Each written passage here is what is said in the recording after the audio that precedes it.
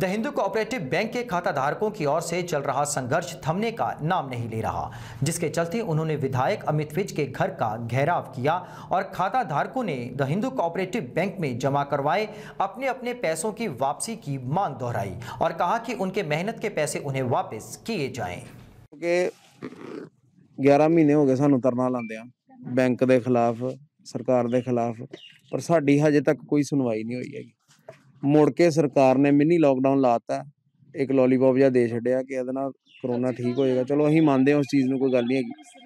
ਪਰ ਹੁਣ ਤੇ ਦੇ ਦਿਓ ਪੈਸੇ। ਕਿੰਨਾ ਕੁ ਚਿਰ ਅਸੀਂ ਡਿੱਕੀ ਜਾਣਾ? 11 ਮਹੀਨੇ ਹੋ ਗਏ ਸਾਨੂੰ ਧਰਨਾ ਲਾਉਂਦੇ ਆ ਆਪਣੇ ਪੈਸੇ ਮੰਗਣੇ ਤੇ ਸਰਕਾਰ ਨੂੰ ਮਦਦ ਵੀ ਨਹੀਂ ਮੰਗਣ ਦੇ ਅਸੀਂ ਸਿਰਫ ਇੰਨਾ ਕਹਿੰਦੇ ਪਏ ਆ ਬੈਂਕ ਦੇ ਪੈਸੇ ਹੁਣ ਹਰੇ ਹੋ ਗਏ ਦੇ ਆ। ਬੈਂਕ ਨੂੰ ਮਰਜ਼ੀ ਨਾਲ ਰਿਵਾਈਵ ਕਰ ਦਿਓ, ਸਾਡੇ ਬੈਂਕ ਦੇ ਪੈਸੇ ਮਿਲ ਜਾਣ। ਅਸੀਂ ਐਮਐਲਏ ਸਾਹਿਬ ਕੋ ਪੁੱਛਣ ਆਏ ਕਿ ਸਾਡੇ ਕੰਮ ਦਾ ਕੀ ਬਣਿਆ?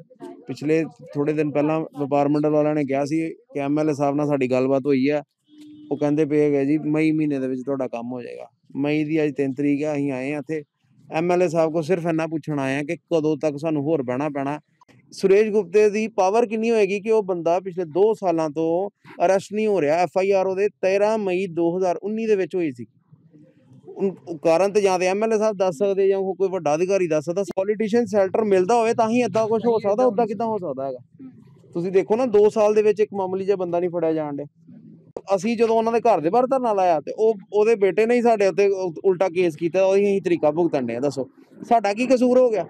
ਅਸੀਂ ਤਾਂ ਸਿਰਫ ਦੱਸਣਾ, ਲੋਕਾਂ ਨੂੰ ਦੱਸਣਾ ਚਾਹਿਆ ਕਿ ਇਸ ਬੰਦੇ ਨੇ ਸਾਰਾ ਬੈਂਕ ਦਾ ਬੇੜਾ ਬਿਠਾਇਆ ਪਿਛਲੇ ਸਾਲ 2020 ਦੇ ਵਿੱਚ ਹਿੰਦੁਸਤਾਨ ਟਾਈਮਸ ਦੇ ਵਿੱਚ ਇੱਕ ਆਰਟੀਕਲ ਛਪਿਆ ਸੀਗਾ ਕਿ ਐਮਐਲਏ ਸਾਹਿਬ ਨੇ ਇੱਕ ਇਨਕੁਆਇਰੀ ਲਈ ਡਿਮਾਂਡ ਕੀਤੀ ਸੀਗੀ, ਰੰਧਾਵਾ ਸਾਹਿਬ ਨੂੰ ਕਿ ਰੰਧਾਵਾ ਸਾਹਿਬ ਸਾਡੀ ਇਨਕੁਆਇਰੀ ਹੋਈ, ਹੋਣੀ ਚਾਹੀਦੀ ਹੈ ਕਿਉਂ ਨਹੀਂ ਹੁੰਦੀ ਬਈ?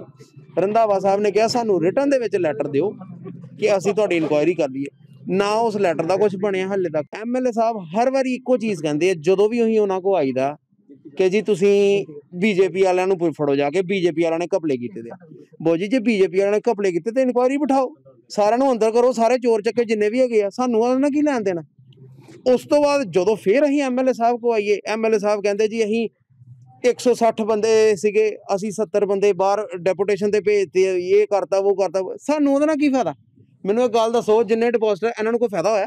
ਜਿਹੜੇ ਇਹਨਾਂ ਨੂੰ ਪੈਸਿਆਂ ਦੀ ਲੋੜ ਸੀ, ਪੈਸੇ ਪੂਰੇ ਹੋ ਗਏ ਦੇ ਆ ਕੀ ਰੀਜ਼ਨ ਹੈਗਾ? ਅਸੀਂ ਐਮਐਲਏ ਸਾਹਿਬ ਕੋ ਸਿਰਫ ਇਹੀ ਪੁੱਛਣ ਆਏ ਆ ਕੀ ਰੀਜ਼ਨ ਹੈਗਾ ਕਿ ਹੱਲੇ ਤੱਕ ਬੈਂਕ ਨਾ ਹੀ ਮਰਜ ਹੁੰਦਾ ਪਿਆ, ਨਾ ਹੀ ਰਿਵਾਈਵ ਹੁੰਦਾ ਪਿਆ?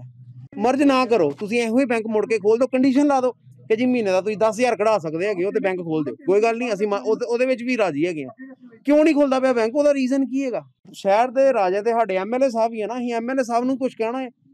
ਐਮਐਲਏ ਸਾਹਿਬ ਕੋਈ ਹੋਰ ਹੁੰਦੇ ਸੀ ਉਹਨਾਂ ਨੂੰ ਕਹਿਣਾ ਸੀ ਸਾਡੀ ਕੋਈ ਪਰਸਨਲੀ ਦੁਸ਼ਮਣੀ ਤੇ ਕਿਸੇ ਨਾਲ ਵੀ ਨਹੀਂ ਹੈਗੀ फास्ट वे पठानकोट की हर खबर को सोशल मीडिया पर देखने के लिए आप fast way news Pathankot YouTube channel Facebook page को लाइक कीजिए ट्विटर और इंस्टाग्राम पेज को फॉलो कीजिए और fast way news Pathankot YouTube channel को सब्सक्राइब करना ना भूलें